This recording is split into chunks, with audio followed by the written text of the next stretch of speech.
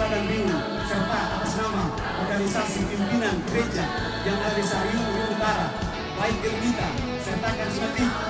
menerima dengan sukacita iman salib pasca ini siap diterima serta siap diarak-arakan di desa Riau Utara dan desa Riau.